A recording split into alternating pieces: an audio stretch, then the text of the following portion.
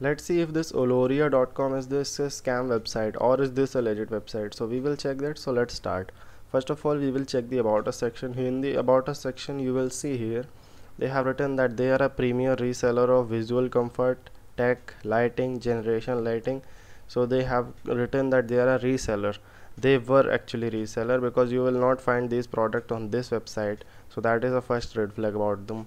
Now if you will check the contact us section here they have given an email id but they have not given any phone number which works. This just this does not work. I tried to contact them and also they have not given any social media handles and the company name Malido Company Limited which they have given. I have seen this exact same company on literally hundreds of websites.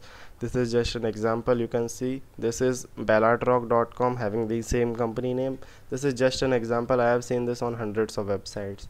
And now the most important part you will see on the website there are no products at all. So they removed all their products on this website. Earlier they were selling. So this was a scam website actually